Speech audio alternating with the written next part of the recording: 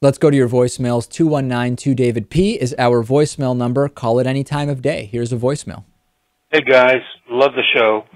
I just sent you an email, but I wanted to follow up with a phone call and mention that uh, Paul Cameron tonight. Well, I saw it tonight. I don't know when it aired, but uh, anyway, he's claiming that gay people, gay men, are having sex with children under 16 or whatever.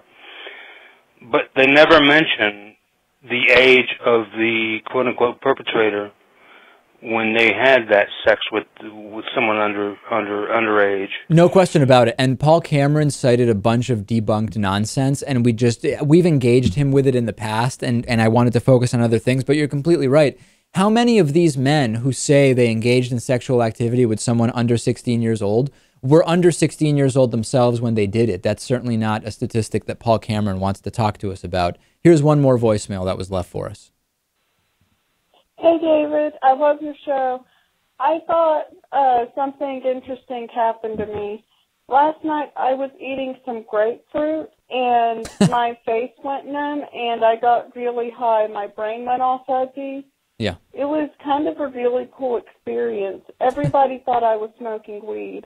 Right. I looked it up and it was an interaction with my medicine probably. The enzymes in it make the medicine release almost instantly. Hmm. So I got the full dose in about 20 minutes. And that's why I got high. Yeah, this is the first time I've ever heard of people getting high off of grapefruit, Lewis, but it sounds incredible.